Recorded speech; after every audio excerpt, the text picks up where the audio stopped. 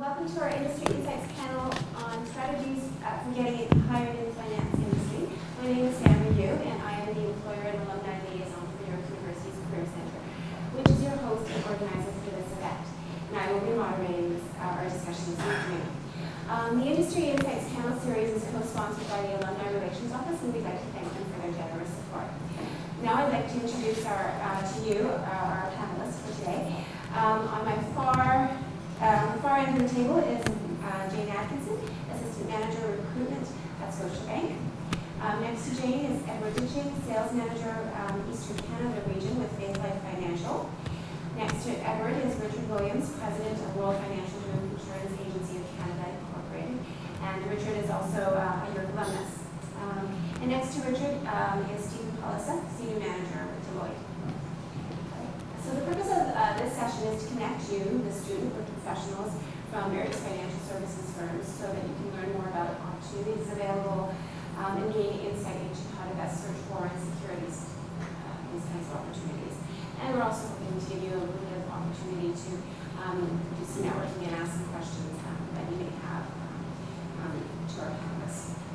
So before we begin, I'd like to um, ask you to please turn off your cell phones and mobile devices so that we can be free of any interruptions. If you haven't done so, make sure you, before you leave today, um, please sign in at the registration table just outside the doors. Um, and um, if at any time you do need to leave the, um, the room during the session, we ask that you open and close the doors quiet, quietly and gently. Um, the doors do tend to make quite a bit of noise. Um, and if you're interested in learning more about the Career Center or the services and events that we um, offer, um, feel free to pick up one of our booklets, which can also be found at the, just outside the doors, um, or can speak to Danielle, who's outside, um, or me, um, or better yet, come to the Career Center. We're in 202 McLaughlin College. Okay? So we will have about an hour for discussion. I will get us started with a few questions for our panelists, and then we will take questions from the floor, and there is an audience mic in the middle of the room. Um, so um, I will, I do encourage you to, um, those of you who, who are, um, who can summon up uh, enough uh, courage to come up to the mic, please do so, and, and pose your questions to the um, uh, panelists a little bit later on in the afternoon. At approximately quarter, uh, quarter after three, we will begin our informal mix and mingle networking session. Um, so you, at that point, you will have an opportunity to speak face to face with our panelists and ask any specific questions you may have. Questions in, uh, in the large group setting, that's fine. You can ask your questions later on. And we will end today's session promptly at 4 o'clock. Okay. Um, so I'll get us started. So the first question I have for our panelists is um, if, uh, if you could uh, tell us briefly about your respective organizations, um, your role within them, and um, what you think distinguishes your organization or um, makes you proud to be part of that organization. Um, perhaps we'll start with Jane. With Scotiabank. Um, we are a global bank. We operate in 58 countries in the world. Uh, we have approximately 81,000 employees. Um, and so we're proud to be uh, one of the, we're one of the five main uh, largest banks in Canada, and our goal is to be um, a premier financial institutional provider. Um, my role, I've been with Scotiabank for seven years. I've held different recruiting projects across the way. Um, i have recruited nationally for Scotiabank, mainly, mainly for the domestic retail branch positions. For example, anything from the customer representative role, which is the teller, uh, through the, the sales officers. So personal banking officers, senior personal banking officers, financial advisors, account manager, small business, manager of customer service. So that's been my role primarily within the organization. And uh, sorry, uh, the last part of that question is what, what do you think distinguishes Scotiabank or what makes you proud to be part of Scotiabank? Well, um, there's a lot of opportunities at Scotiabank and um, it's not uncommon for people to have more than one career while they're with us. So uh, we do provide you with the resources and the tools to navigate your career. And, um, and I think that Scotiabank is, um, it just really gives a lot of people to really grow and develop in their careers. Mm -hmm. Thank you. Um, I'm from FaithLife Financial. My name is Edward Ditching. And uh, before I proceed, I'd like to introduce Kim Sanderson, our regional director for uh, Eastern Canada as well. Yeah, thanks, Kim. Yeah, um, FaithLife Financial is a faith-based member-owned financial services organization providing life insurance, income protection, and investment products for our members. Uh, we are a not-for-profit uh, financial services organization, and what that means is that we reinvest our profits to uh, to our members, back to our members, and the causes that they are that they care about. And uh, I myself, I, um, my role in, in, uh, at FaithLife Financial is as sales manager, and my main focus is on uh, recruitment of financial representatives. Um, and that's in the uh, Ontario area. And uh, what was the last question again? What would you say distinguishes um, Faith Okay, so uh, yeah, I've mentioned it, that uh, what distinguishes us from the others is that we are a not-for-profit service organization, financial services organization. Thank you. My name is uh, Richard Williams. I'm the president of World Financial Group Canada. Uh, we're part of the Aegon family, which is uh, one of the largest uh, life insurance and pension companies in the world. We have approximately 27,000 employees. We run in 16 different countries, and we have about a half a billion in assets. Uh, World Financial Group is the distribution arm of Aegon, and we, uh, we distribute financial services products all over North America in all the United States and Canada. And uh, my job is obviously to recruit people from an agency perspective, but I also uh, run the, uh, the inside or home office side of our business. So we have two really aspects of, our, of what we do. Um, what makes us really unique is we're a very entrepreneurial company, and uh, that attracts a lot of younger people to our organization because they want to have control over their futures. Thanks very much. Uh, Hi, everyone. Uh, My name is Steven Polisuk. I'm with Deloitte and Touche. Guys may have heard of us. We're, the- I think, the largest accounting firm in the world right now. We've got offices everywhere in the world. Um, And in particular, in Canada, I think we've got about six, 7,000 employees. My role is, I'm not really a recruiter. I'm here on behalf of the Canadian Institute of Chartered Business Valuators. So that's my designation. I'm what's known as a CBV. And we can get into that a bit more later, exactly what a CBV does. It's a very interesting and diverse career path that you guys might want to consider as you're going through your studies. Uh, Deloitte is a great organization. It really provides great training. It's very focused on the employee. It's very focused on the community. Every year we have our Impact Day where we go into the community and help out, do charity work, and we sponsor all kinds of things all during the year. And it, it's a really a great firm where you can really get great training. thank Um, so next I'd like to ask our panelists to um, tell us a little bit more about the types of employment opportunities or roles available to students and our graduating uh, graduates, um, new graduates um, in, in, within the firm and perhaps um, uh, we'll start with Steven, uh, with um, um, within the type of work that you do.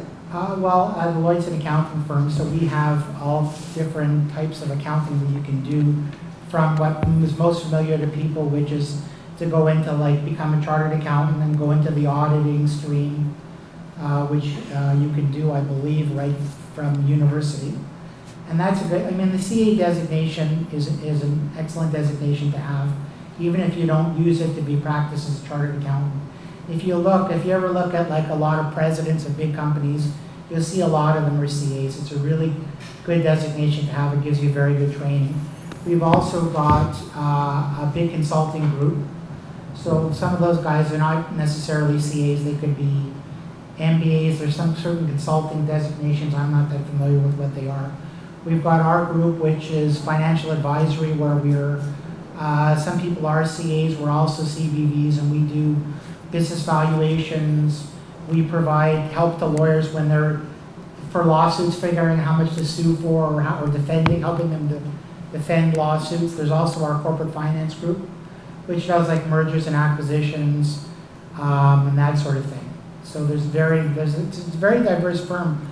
I was, uh, been with Deloitte for about five years now. I was with another firm called Mintz and Partners. I don't know if you guys ever would have heard of that firm. And we were like a medium-sized accounting firm of about 150 people, 20 partners. We merged with Deloitte in 2008. And I didn't even know all the stuff that accounting firms could do. It's amazing all the different departments and specialties that that they have there. So you can, like I said before, get really, really good training there. We really have two streams in our organization. You have what's called the sales stream or agency stream, and then you have the corporate side. Uh, Obviously, on the sales side, you have the opportunity to become or start a an agency with our firm. But on the corporate side, uh, we do run various departments uh, such as accounting, um, compliance, uh, uh, licensing, actuarial. So we have a very broad spectrum of opportunities from a home office perspective. Yes, um, I think uh, we need to as well to um, draw back and just uh, maybe just um, see the the bigger picture. Okay, when you uh, if uh, anybody wants to go into the financial services industry, there are different streams. You can go through banking, you can go through um, investments, or you can go through insurance, and uh, that is where the insurance stream is where we are focused in terms of our company, of our organization. And um, so there are different um, opportunities, and the, but the main opportunity that we, are, we have are actually right now for uh, financial representatives or to become fin- financial advisors and uh, grow in that career and follow that stream to be financial planners.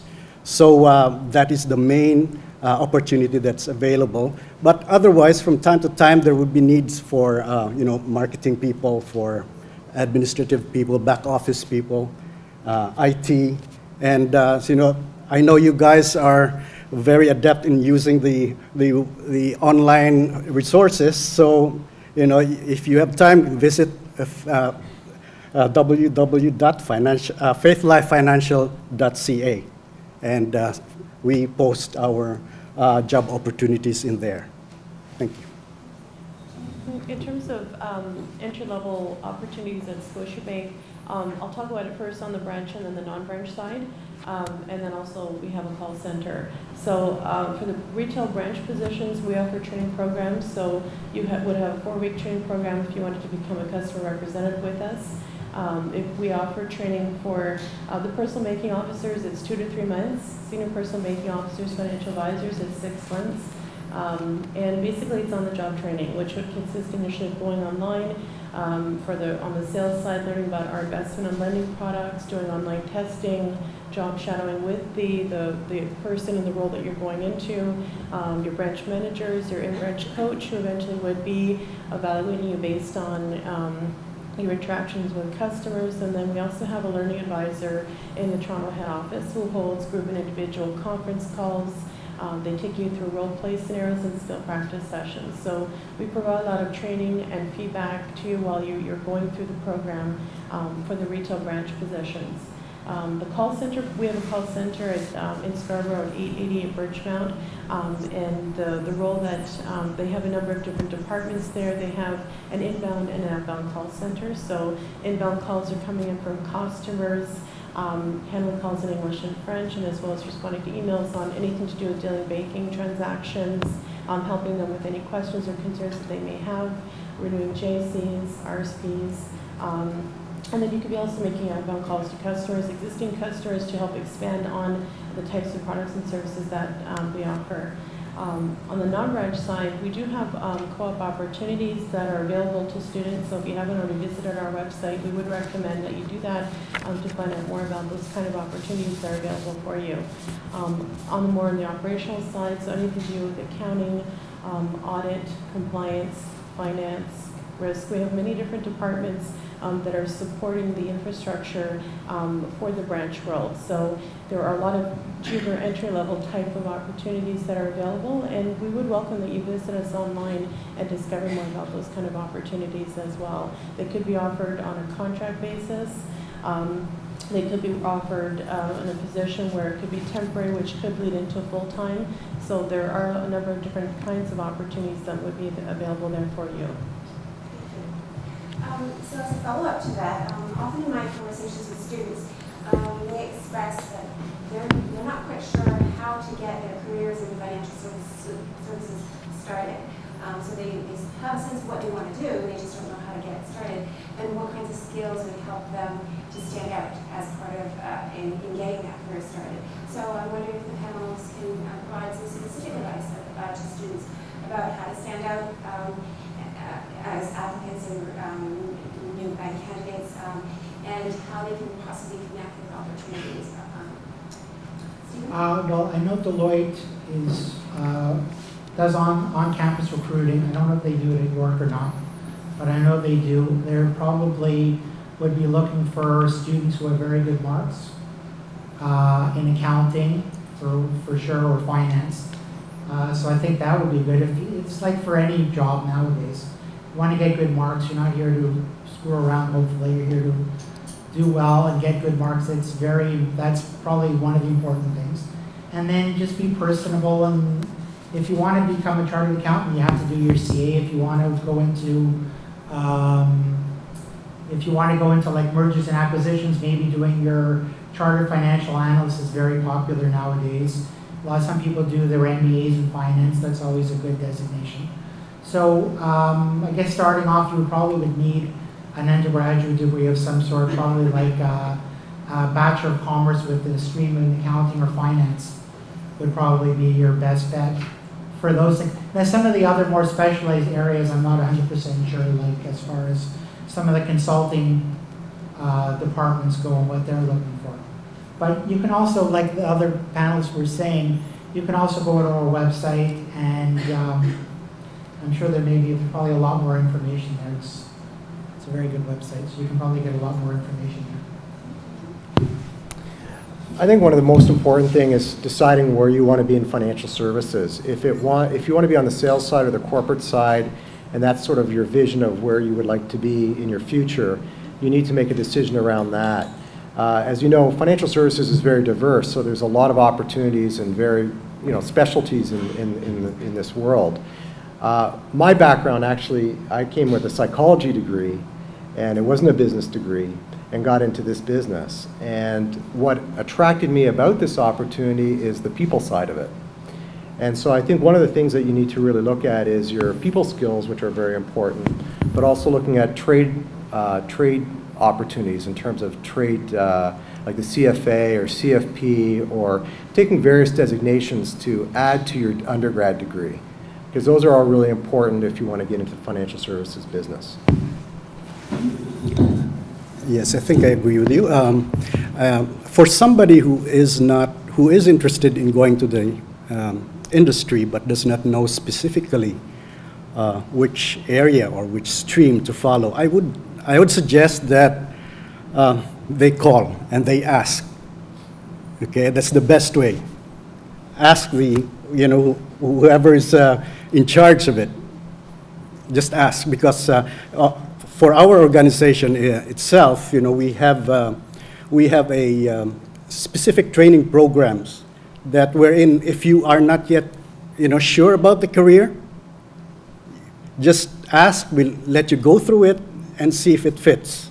If it does not fit, then, you know, maybe it's not for you.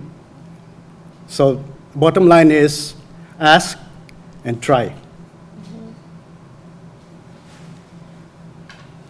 Some of the things that we look for um, in candidates who are interested in a career um, in retail branch banking um, are not only that they have either a college or university degree, um, whether it be in commerce, finance, business administration, accounting, uh, but also who have completed some of the um, industry-related designations, such as the investment funds in Canada, the Canadian securities course. Because if you are going to sell mutual funds, you need to have either of those designations completed in order to become legally licensed to sell mutual funds. Um, if you're interested in career path from there to become um, a financial advisor, uh, that would entail doing financial planning. So we would at some point encourage you to complete the professional financial planning and the certified financial or certified financial planning designation. Either one of those enables you to do financial planning. Um, at the branch level, we're looking for strong sales performers, so people who have sales experience, whether it be working in a retail store, um, in a call center, where they've been an account or an account manager role, any type of position where they've actually had to, it could be either prospecting uh, candidate uh, customers, handling rejection, um, presenting products, and asking for the business. So um, that's the, those are some of the kinds of things, the skills, the education, and the knowledge that we're looking for for people on, on the retail branch side.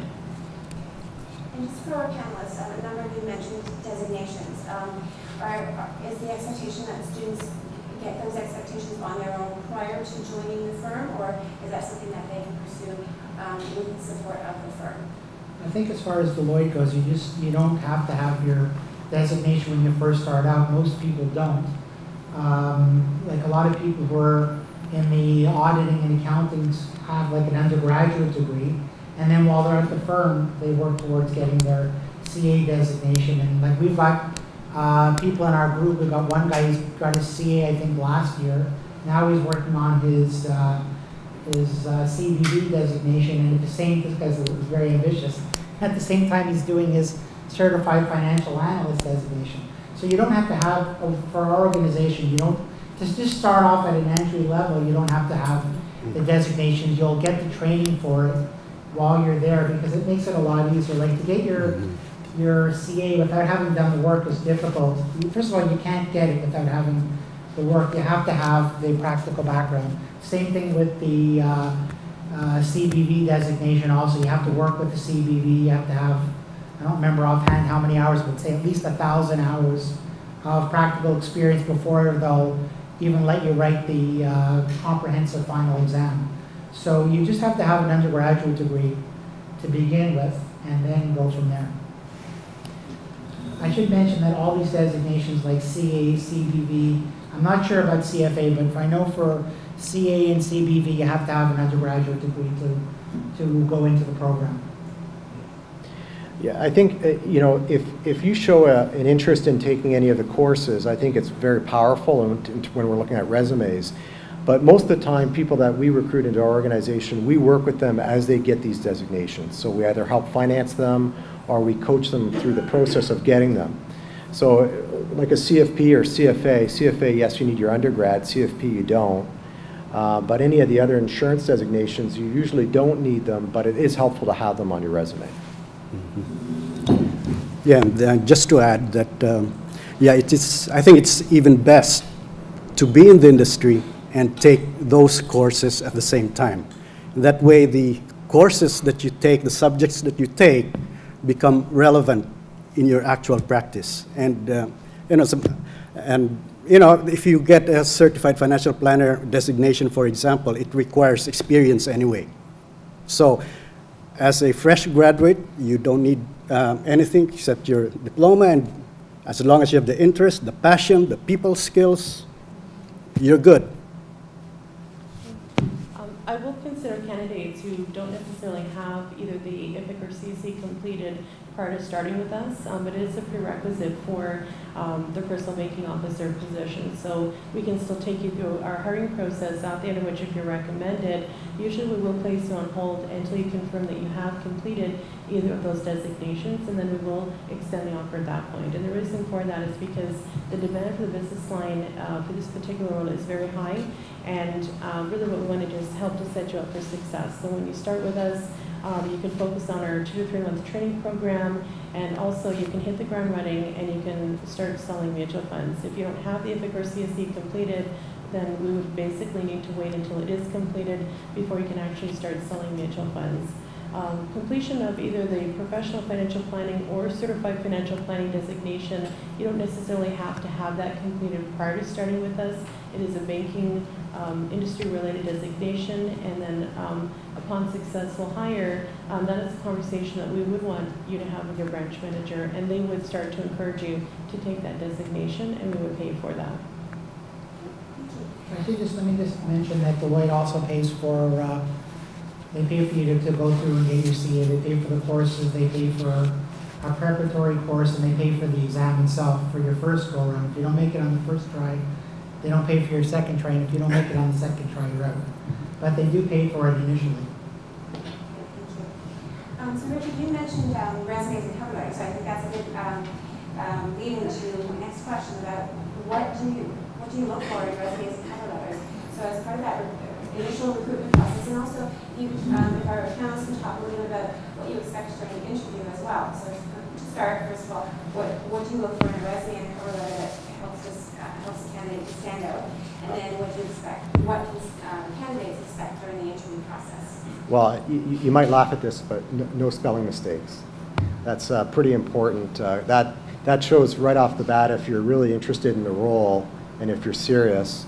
Um, You know, what what we look is, when I look at a cover letter, is really a, an expression of why you're interested in the role, why you want to be with the firm, why you feel it would be a good fit.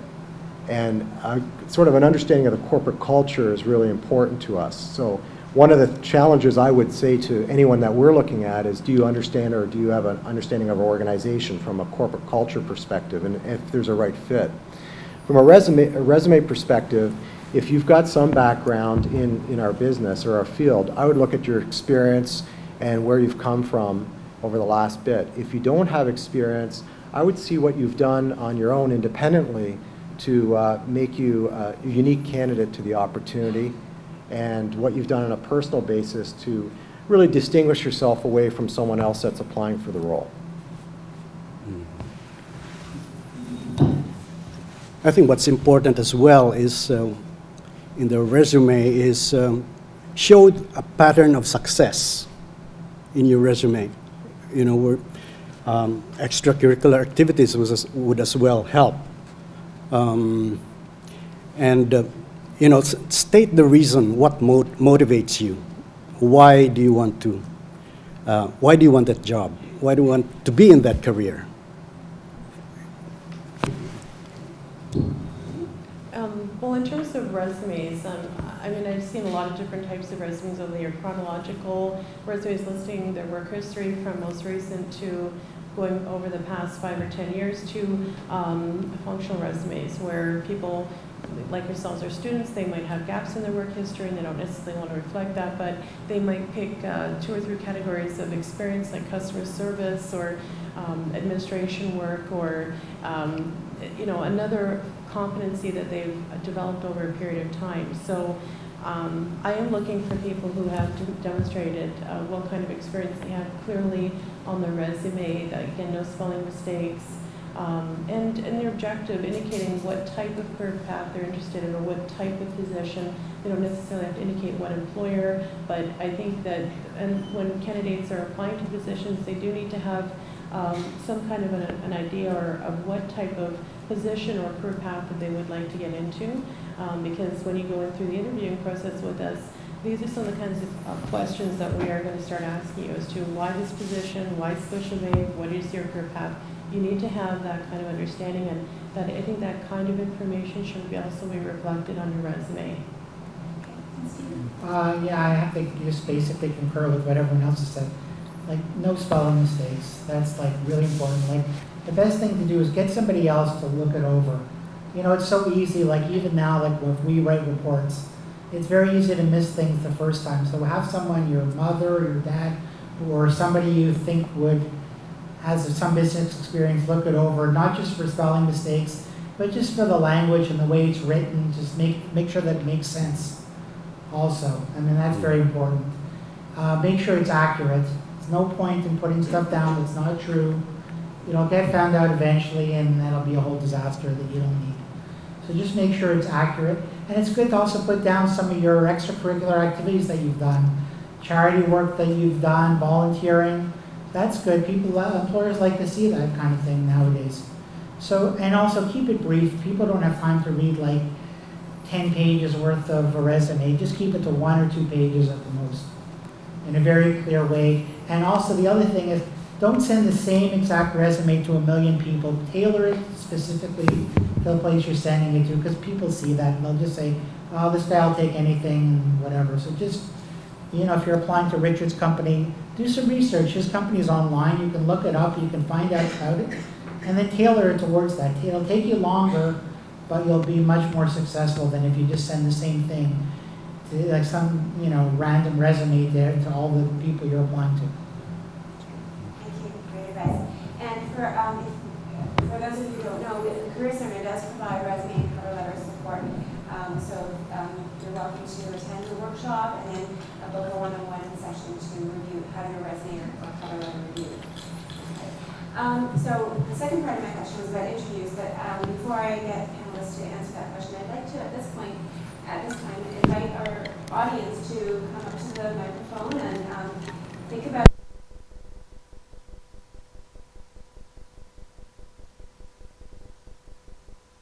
So, um, the second part two of that question was, what can candidates expect um, if they are selected for an interview?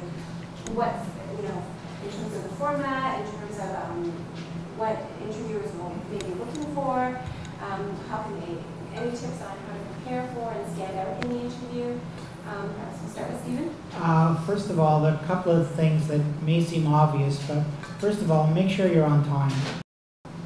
Like if you come like 20 minutes late for an interview, you may as well, you may as well not even show up. Secondly, dress professionally, like in a suit maybe, or at least a blazer. Don't be wearing jeans or shorts or anything like that. Um, Just be very neat in appearance.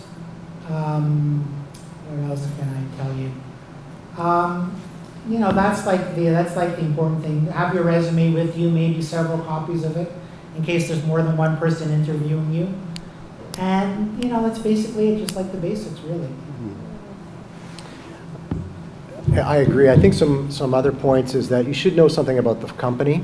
Um, We, we typically ask you what you know about our firm uh, to see what type of interest you have in the organization.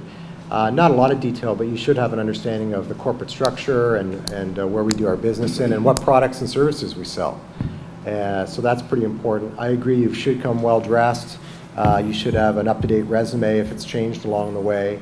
And um, basically be uh, fairly open to any questions that we do ask you about where you want to go and why you're here for this meet, for this uh, interview. Yeah, I think, I think you all know that uh, we, we make uh, an impression during the first minute of our meeting, somebody, uh, another person. And that's very important that, you know, uh, we, uh, especially in the uh, financial services industry, I think what we are looking for is, we want to ask ourselves, can I trust this person? Because that's what, um, that's what you're going to be doing. You should be trusted during the first few interactions, and, and that's my, you know, that's my, my tip to you. Dress well, be friendly, and all the other tips that uh, has been given so far. Um, In terms of our hiring process and what that looks like, we do have quite a rigorous hiring process, can take up to anywhere between four to six weeks. So I'll just explain what that process looks like. Initially, when you go online, you'd be able to submit your resume, apply to positions. Depending upon the position you're applying to, there will be pre-screening questions there. If selected, um, we would contact you for a 30-minute telephone pre-screen, which is basically just designed to help gather more information on your background, your experience, your qualifications. Um, From there, we might send you an online self-assessment profile, ask for copies of the or CSC, we have them, and maybe even copies of annual performance appraisals, if you have them. Um, From there, we would conduct a one-hour behavioral description interview, which if you're not familiar with it, I would highly recommend that you visit the Career Center and find out more about that, because today that's the kind of interviewing um, that companies are doing to look at what your past performance is, which is a future predictor future behavior. From there, if you're selected, we would then have you go out at the branch level to meet with two branch managers. We have um, hiring panels that recruit for all of the positions within a particular district, and they're making final hiring decisions for all of the retail branch positions.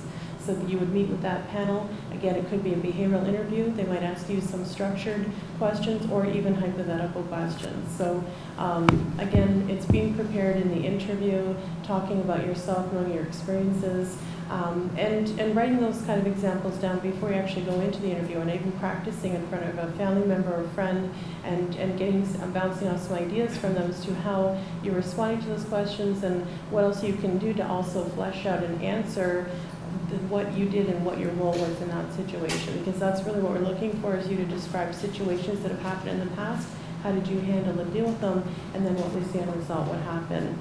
From there, if you're selected, um, we would then uh, extend the offer, and usually we bring people on board within two weeks. Uh, References are completed by a third company uh, called Backcheck, and we would require you to provide three managers as references. If you don't have that, we will accept one professor, teacher, or one volunteer reference. I just wanted to mention one thing that we forgot about, about resumes. Don't put references available upon request. Like, that's making like the person reading it do extra work. Just give them a re- the, the references right up front. I think it's better.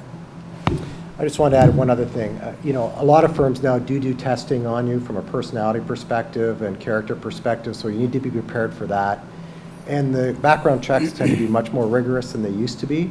So between police checks, between uh, reference checks, uh, are confirmed and reconfirmed again. So it's a very important part of the process. Thank you very much. Um, and, and thank you for that plug about the career center team. Um, we do, in fact, do provide interview um, support, interview preparation support as well. So we've got that in the form of workshops. We also put, um, do mock interviews. So if you, um, and that's a one-on-one thing. And we've got a camera in the room if you'd like, and you can videotape the practice interview, and you can watch it and, and um, discuss with your advisor about what, what worked, what didn't work. So um, if you are looking for that support, feel free to come by the career center. Okay, so we've got a few um, brave volunteers to get us started with our student questions. Would you like to um, pose your question? Hi, my name is Mike, and this question is for Steven. And with regards to becoming a chartered business valuator, how does Deloitte train its employees to become chartered business valuators, and how does it help them in their career path along the way, especially if they want to do the CACBV, like you mentioned earlier? Right. Well, um, sorry, um, before, I don't know if everyone in the room knows what a, a uh, Okay, let me, CBV let me just say, we can start with that. okay, CBV is a chart, what's called a Chartered Business Evaluator. It's a designation that's given by the Canadian Institute of Chartered Business Evaluators in conjunction with York. And, uh, it's, what's involved is there's, um, there's about six courses that you have to take. And then there's one, and there's an exam for each course, and there's different assignments in the course of doing the course. Um, and then there's like a comprehensive final exam, which is very similar to the uh, chartered accountancy uh, uniform final exam. It's very similar in terms of difficulty and pass rate. It's got about a 50, 60% pass rate usually for that exam. Most people do their CA first. I personally didn't. I had a completely different career path, which we can get into later have time. Uh, most people do. I would recommend it. Most people who are CBVs are CAs first. I recommend getting your CA first, which you can do at Deloitte. They've got excellent training for CAs. And as far as the CBV goes, how we train you is you work in our department and you work on actual assignments that you would do as a CBV. So you do business valuations, you do litigation support, and we've got, you know, very good assignments that we get and that we staff you on. And you work with other CBVs and they train you, and you learn by doing, and which makes it a lot easier because if you get to that CBV exam and you've never really, um, you know, had much practical experience, it will make it a lot more difficult than somebody who has had a lot of practical experience and who has done valuations. I mean, there still is the exam writing techniques part and then there, you know, but if you've had the experience, it'll make it a lot easier. And Deloitte's got fantastic training. Thank you very much. Thanks, Mike. Any question? This question is for Jane. I was wondering for retail brand positions, for example, the CSRs, the customer service representatives, what other skills would you need except for like a sales experience or, um, well, would you need any qualifications other than that? Um, okay, so working as a customer representative, which is a teller position, you don't necessarily have to have sales experience, but we, we would be looking for people who have worked with customers. So it could be in hospitality, working in restaurants or hotels, um, even working as a cashier in a- retail store, handling cash. Um, we're looking for people who um, are very personal, warm, friendly, customer focused, um, and problem solvers because people come into the branch uh, for all kinds of different reasons. So really, um, and generally wanting to help customers and provide excellent customer service. Just one more question. I was wondering, would you be able to tell us what a day would look like, for example, the life, well, during the work of a customer service representative? What exactly would be the kind of things that they would be doing? Well, opening, um, depending upon your level of experience, so obviously once you've been working in a branch, there's sort of a, a routine that would revolve in terms of there's opening procedures, which would have to do with the vault, the ABM machines, making sure that um, all of the tellers' cash or their registers are, are loaded with cash, counting the cash at the end of the day. That's another thing that you would be doing. Um, throughout the day, there, there are usually peak periods, so um, through, during that time frame, some branches have very high volume, some might not have, have a, a slower volume of customers coming in. So you know, being very proactive, smiling, servicing their needs, um, and helping them. Um, also, throughout the day, your cash would need to be taken back to the vault. Um, and then we have, at the end of the day, there's, there's balancing. We usually have a head teller, um, and they're, again, counting all the cash. Um, and then there's the closing procedures that go on throughout, um, throughout the end of the day, and then the bank is then locked and the security is turned on. Thank you. And actually, if I could ask our other panelists to answer that question as well. So um, for students who are um, entering into your organization uh, as a- at an entry level, um, what would a typical day in the life uh, of that role be like? What can they expect? Um. Um, Well, I'll describe the, a day for a uh, financial advisor.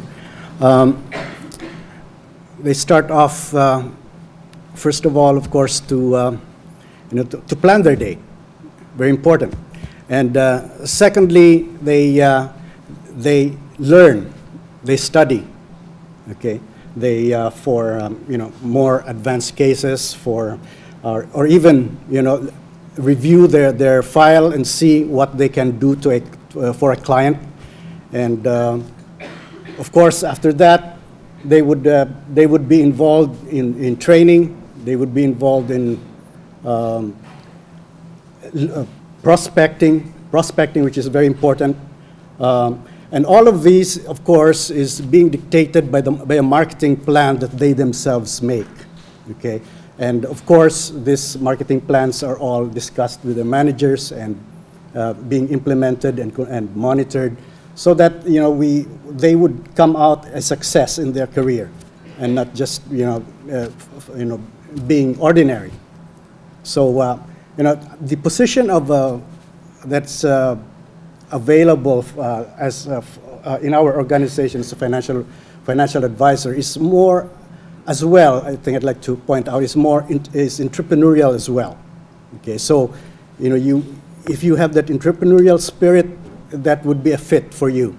And uh, your day will mostly be dictated by what you want to achieve for that day. Very similar, on the sales side, as an agent, you'd be out there working with someone or teaming up with someone to do sales visits, and it's that real-time, on-time sort of learning experience that's really critical to being successful on the agent side.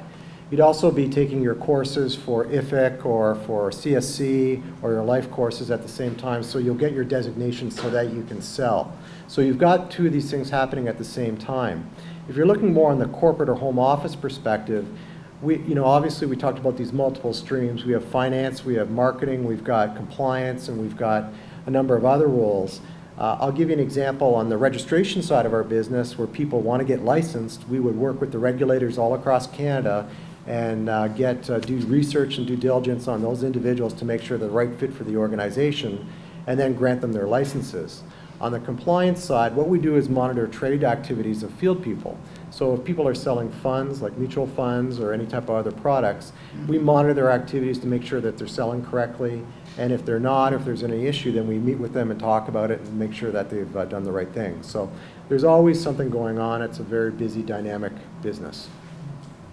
Um, in ours, what we, we're always like doing a number of different assignments, like we may be valuing a company. Like for example, right now, we've got, I've got on the go, we've got a company that owns a numerous car dealerships. And, uh, one of their, couple of partners, one guy owns part of a couple of Honda dealers, and the other guy owns part of another kind of dealer, and they're switching it around for various reasons. So we're doing evaluation of these car dealers for the purposes of this corporate reorganization, that's one thing. I've got another one in the home healthcare space where it was owned by three people and one of them wants to get out, so we have to value her shares so they can buy her shares so she can leave the business. Um, we've got, um, so we do a lot of stuff like that. So as like a, just a beginning person, you would start off like with the more or less, you know, like summarizing the financial statements, working with somebody who's more experienced, maybe doing some industry research on some of these industries to see what uh, some of the issues are. You might come to a meeting with somebody who's more senior to meeting the client just taking notes and listening, and then, you know, once you get more experience, you might start working and doing a whole valuation yourself. There's also the um, litigation side of the business. So, for example, we do stuff like, say somebody's hurt in a car accident. Uh, We work for like both plaintiff uh, lawyers and defense lawyers. So for a plaintiff lawyer, we're trying to figure out how much can this person make now that they've been hurt? Maybe they can't work anymore. Maybe they can't work in the same capacity, they can work only part-time.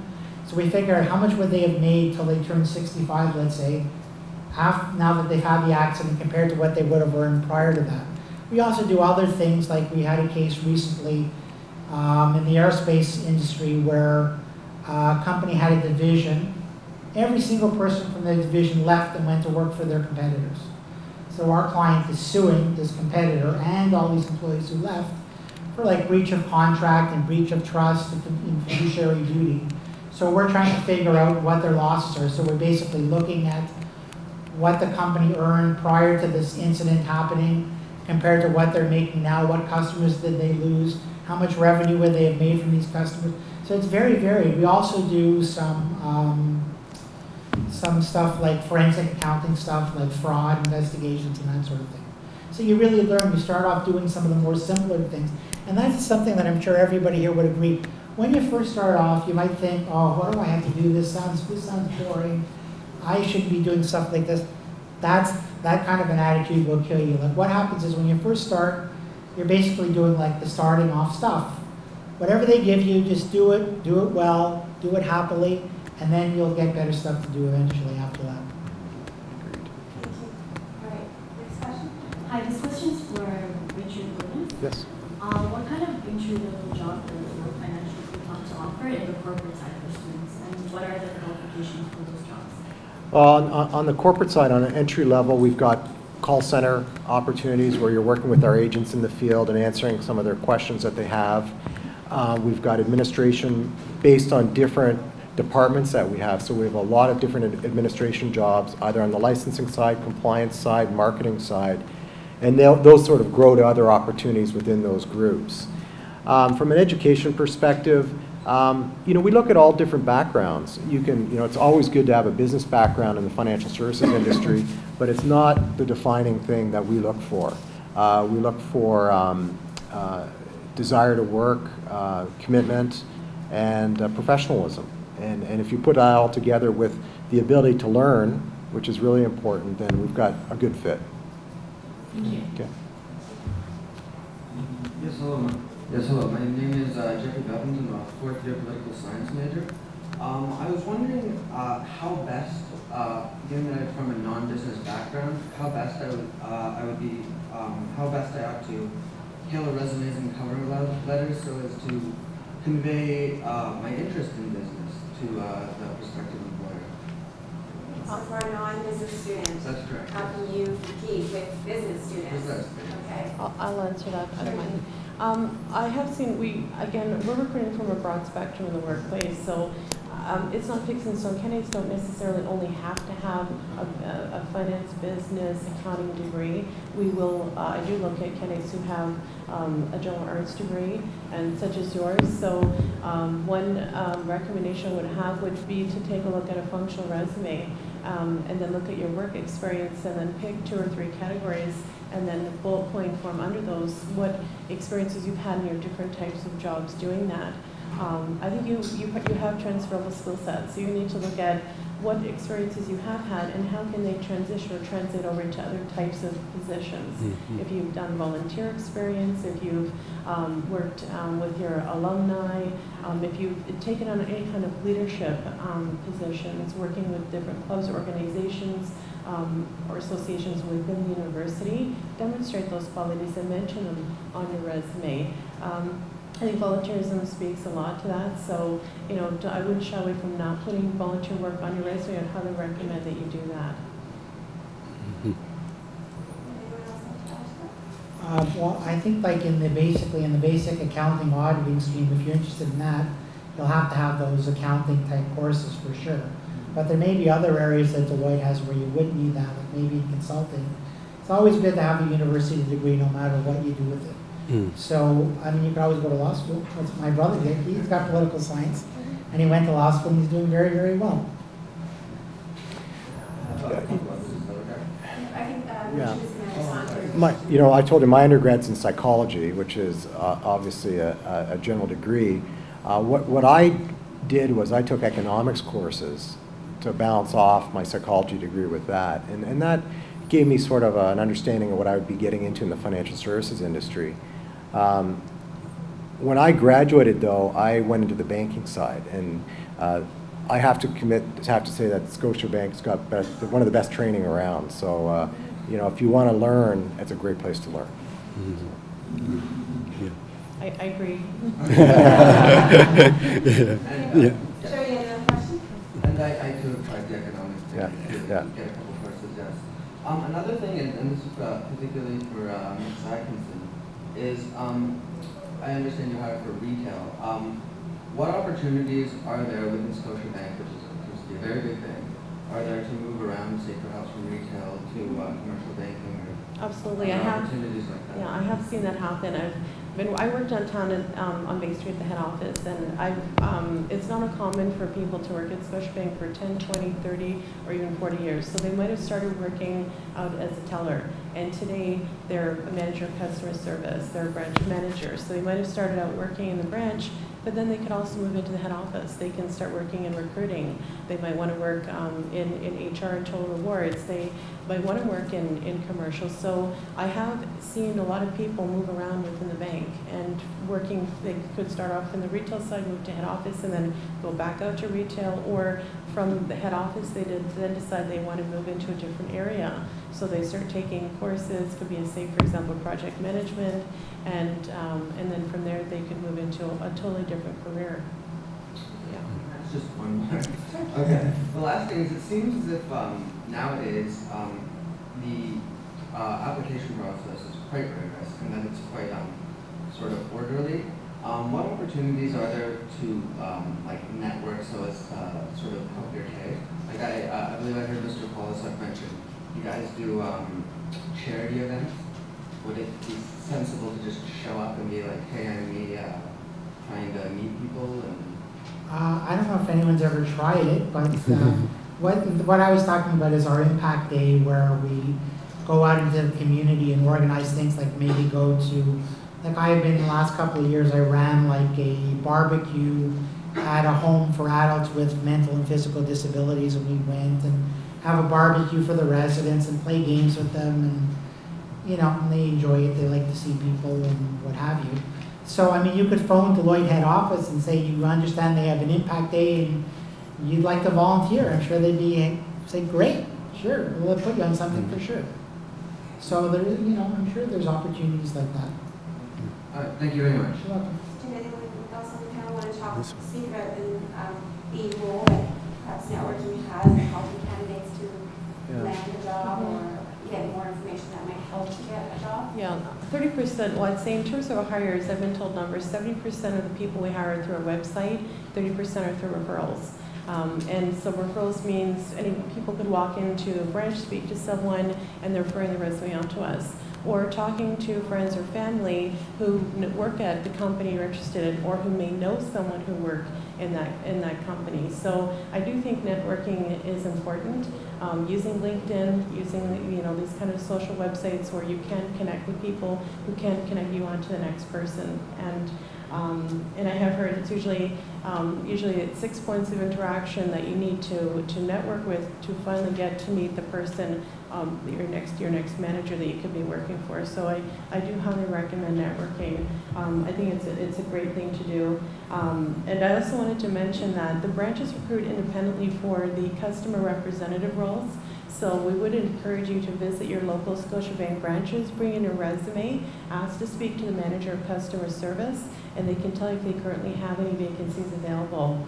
If they don't, they might refer you on to our corporate website to apply online. But again, you've gone into the branch, you've met someone, and you've made a contact. And we would highly recommend that you market yourself. Mhm. I'd just say there, you know, there's always cooperative opportunities. Uh, All firms are always looking for individuals like yourself to come in and, and be part of the organization for a short period of time. That's a great way to network and meet different people. The other aspect is uh, making appointments with the various firms' HR departments and sitting down and asking questions and saying what opportunities are there available, both paid and unpaid. And uh, sometimes you have to take some of those unpaid opportunities and work with them in the short term because it's a bit of an opportunity for us to, to evaluate, evaluate yourself at the same time. So you need to really be open-minded about opportunities, being both paid or unpaid. And I think adding, adding to that is um, recruiters always look for, well, they view favorably people who are referred by the existing workforce in the company. So, you know, networking is a great way, great way to have your foot on the door. Your question? Hi, I'm Julia, and I have one question for the teaching working at FaithLife Financial. Uh, What kind of qualities you are looking for when you are hiring actuarial science students? And what kind of past experience can make a candidate stand out? They are looking for jobs relating to actuaries. Yeah.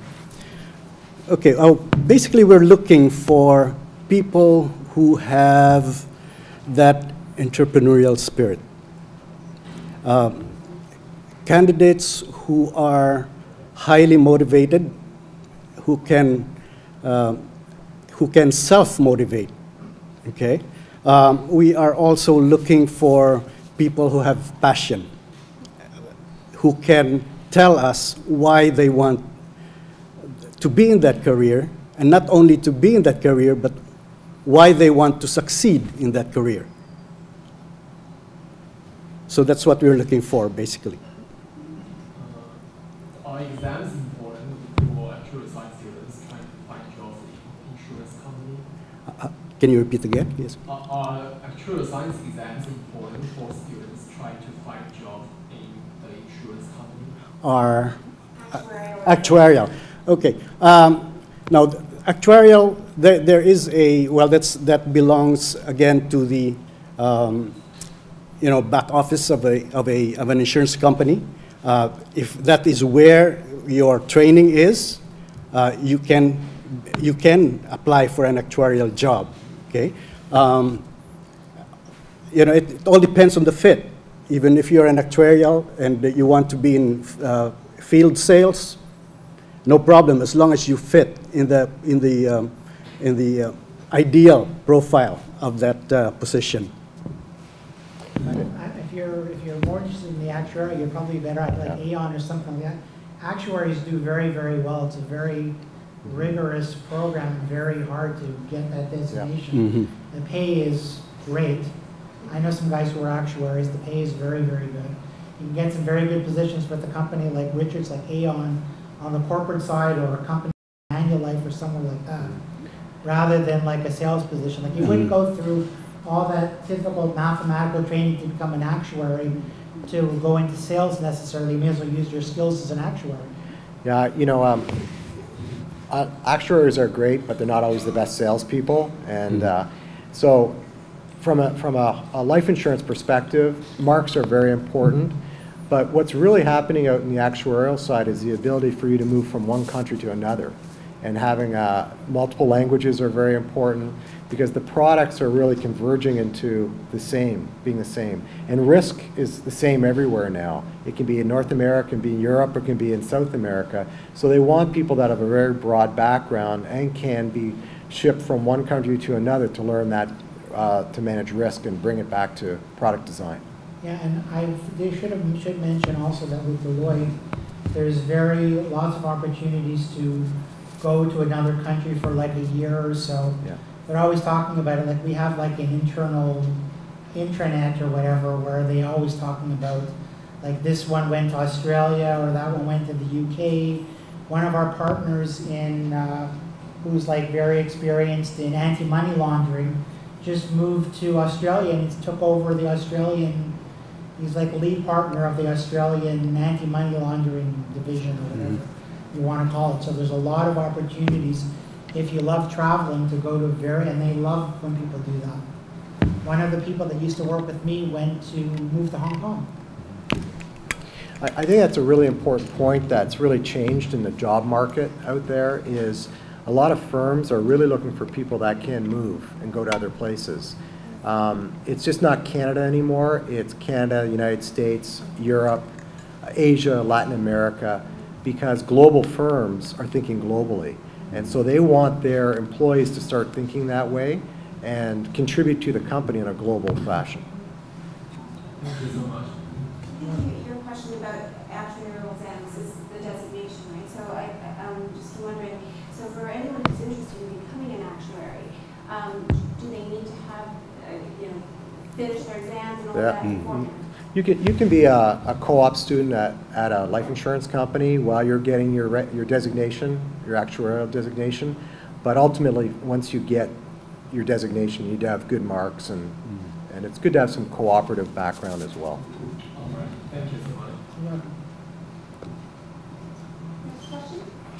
Yes, uh, hi, sir. Uh, and madam, um, my name is Lee, and uh, I'm currently a math major student.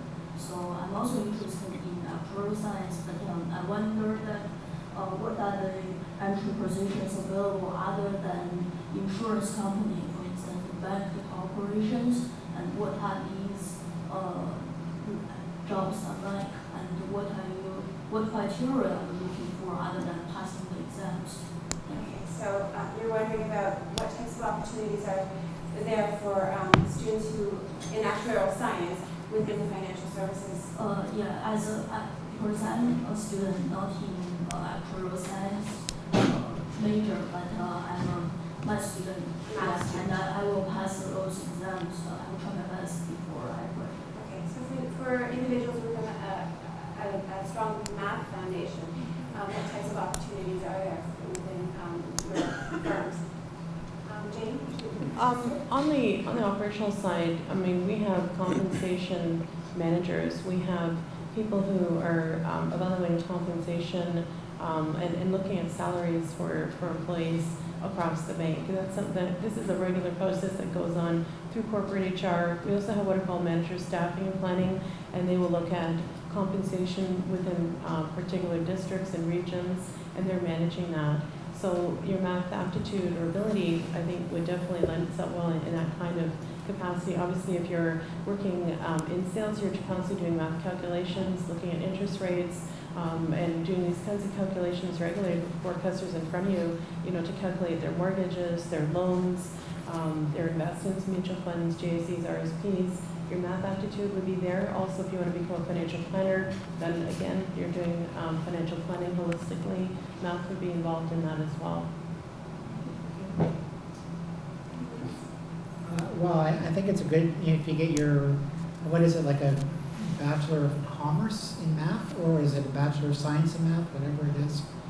I think it's a good, it's a good designation, then you can go on from there to get something, some other designation. I don't know what you can do with just the math one itself, but it, it's a good skill, you need math, and what we do, we, we do need math. I mean, accounting's not all numbers, but it's still, you have to know it, and that shows uh, intelligence, it's a good designation.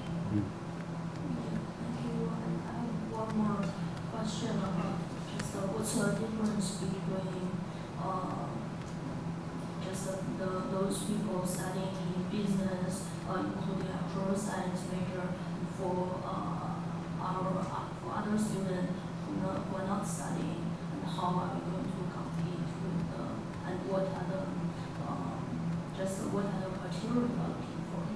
So you're wondering, um, from a hiring perspective, how, and how recruiting managers see, view business students versus math students or other Yeah. students from other majors? Would anyone like to comment? Well, on the actuarial side, in the insurance industry, it's a pretty important cornerstone of what, what we do.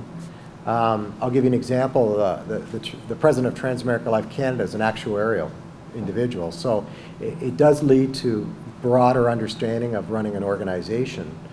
But, um, y- y- you know, again, from a life insurance perspective, actuarials are sort of put into a certain role in terms of managing risk for our organization, and, and they grow from there. Yeah, and uh, like I was said before, if you want to become a CA, you have to have the accounting courses. Um, and if you you want to go, like in some of the other areas, you need like, go get your MBA or your CFA, or but there's a lot of math involved in that, there's statistics, and so if you're good in math, that would probably help you in your CFA course for sure. Mm. So you can consider doing that maybe. Next question? Hi, uh, my name is Nelson. Uh, I have a question for all the speakers today. So I just recently graduated from my accounting degree, and I'm working towards my CMA. And I was just wondering what type of entry-level positions do you guys have in your organization? For CMAs? Okay. Well, in our, account- in our accounting department, obviously, we would have junior or entry-level accounting positions, you know, anything accounts receivable, accounts payable. Um, When you go onto our website, you can actually do keyword searches, so you can pull up the accounting department, you can um, search by title, or you can just type in like accounts receivable, accounts payable, anything in the job description or that you're looking for. If any of those postings have those words in it, it will be pulled up for you, and you can apply directly to those postings. Yeah. Yeah, we, we would have the same sort of similar roles. Uh, where what I'm responsible for, our finance people do the same thing, accounts receivable, accounts payable, they do some payroll, uh, they do some um, commissions, things like that, but very, it's a generalist position. And I'm not sure as far as Deloitte goes, what, if there is any difference if you're doing your CMA versus doing your CA. I'm sure there are people there that have their CMAs. Uh, but you can certainly check on our website and find out for sure. Mm. Thank you. Hi, my name is CY. Uh, I'm a third year accounting major student at York. Uh, I have a question regarding forensic accounting, which uh, Steven spoke about. I would like to know what are the criteria or requirements to get into forensic accounting. Uh, what is the scope of forensic accounting? And uh, which institution provides certification for forensic accounting? Well, there's a lot, it's a very big area, and there's a lot of things you can do. There's the IFA designation, that's a uh, good one. I still would recommend getting your CA first and then maybe getting your IFA after, which is investigative forensic accountant. A lot of guys are like CA-IFA. Uh, so you can do stuff like anti-money laundering. Analytics is a very big area now. Downtown at Deloitte, in our office at 33 Yonge Street, We've got a big forensic lab where they do a lot of analytic work. They do work for very big companies like, um, like the Ontario uh, Lottery Corporation, and we just did. We've done work for all kinds of big companies on fraud investigations. And some of the stuff that they do is through analytics. There's anti-money laundering. I myself am a certified fraud examiner, and that's given through the um, through the Certified Fraud Examiner Association out of the United States. It's the ACFI, ACFE, that's it. Association of Certified Fraud Examiners out of the States, out of uh, uh, Texas. So, but I, I still would get like an accounting designation maybe first, rather than just going for that. It's more, it's probably better. Most people who are in that have that designation first. Although some people don't. We've got some people in our on the analytics side downtown who are like, uh, got their, P- We've got one girl, woman who's got her PhD in analytics who works in the lab. So, you know, the math is very good for that also. Our friend, I don't know if she's still here, who was studying math, that might be a good area because there's a lot of, uh, the analytics side is very, very big now. So uh, the only way to become a forensic accounting is to achieve, to get your certification as a CA first? I'm, I'm not sure if it is. I think you can get your CFE, definitely you can get your certified fraud examiner. Just go to their website, ACFE. Just look up ACFE, and you'll find out what, what, what you have to have to get that designation. And I'm not sure about, I'm not sure about the investigative and forensic accountant. If you can do that without having your, an accounting designation, you probably can. They'll probably just make you take a lot more courses, that's all. But given that you have an accounting background, so you got your BCom? Uh, BAS accounting? Okay, so you may get some exemptions. You should just contact them and see. I think maybe, wasn't that through York? I thought York had that, that, uh, You should check, it's the I, um, in, the, what did I say? ACFE. Yeah, no, ACFE is the, is for, to become a certified fraud examiner, but the, the investigative and forensic accounting designation, that's a good designation, which is a lot more in-depth than getting your CFE. So just look, call them, and go on their website and find out, you don't have to have, I'm just recommending, because I think it's better to get your CA first and then do that, in case you want to do other things also. So basically, do your research. Yeah, do your Find it, research. as- I if mean, you're interested in something, do as much. Some of the guys that are, uh, work with us in the lab are ex-police officers. Like one of the guys who's one of the biggest partners in Deloitte in financial advisory is this gentleman named Peter Dent. You can Google him. Why don't you Google him? You'll see what his background is. Peter Dent. He was with the Ontario Provincial Police for about ten years, I believe. He worked at the World Bank and I think he got all his designations after he was with the police. I'm not sure. Just Google him, you'll find out. Thank you. You're welcome. And we have time for one more question, and we've got one more question, okay? Hello, I'm Young and I'm studying accounting. Uh, I want to know the cultural fit. Now there's a com- company, industry investment organization and bank. And we have to know our, actually, we are fitting actually which company.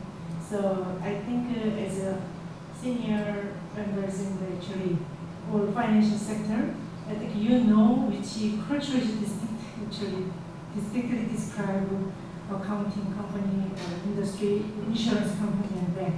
So you want to know more about the co- corporate culture of each of these firms? Yeah. Okay. Um, Jane, would you like to start? Well, that, that's a good question. I mean, we are a very large international bank. We're very diverse. So um, certain positions will require people to speak certain languages. Um, but I think one, some of the main things that we look for, I think, um, in any position are people who are customer focused, um, who are results focused, who um, who are really a team focused person, so they know how to work well with other people, their peers and management, um, who are flexible, and um, you know even having good people skills, being being strong in, in relationship building, because you know your customer, if you're working internally in an accounting department, your customer could be another department, you could be supporting a certain business line. So I think having those kind of good customer service skills is also really important. Um, Yes, uh, speaking of um, company culture, um, FaithLife, uh, our organization is, um, is a, it's a faith-based organization. So uh, company culture is more of uh, member services, um, looking for the, um, looking out for others, and uh, that's very prevalent in our organization. Um, and that, that pervades the working environment within our organization at FaithLife.